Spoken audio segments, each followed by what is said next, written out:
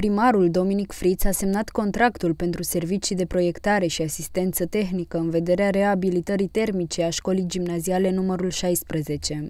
Contractul, în valoare de 135.000 de lei, vizează îmbunătățirea performanței energetice a clădirii printr-o serie de intervenții specifice. Suma este alocată din bugetul local al municipiului Timișoara. Continuăm să investim în școli și în educația elevilor timișoreni. Dintre cei care săptămâna aceasta dau bacul, mulți nu au avut parte de condiții de studiu la standard european. Accesăm finanțări europene, dar suntem pregătiți să investim și din bugetul local, așa cum vom face la școala gimnazială numărul 16, a transmis primarul Dominic Fritz. Contractul prevede utilizarea de panouri solare fotovoltaice și alte surse regenerabile pentru a produce energie necesară școlii. Sistemul tehnic al clădirii va fi îmbunătățit, achiziția și instalarea de sisteme de ventilație, corpuri de iluminat cu LED și senzori de mișcare. Prin aceste investiții, școala gimnazială numărul 16 va oferi elevilor un mediu educațional mai modern, mai eficient și mai sigur.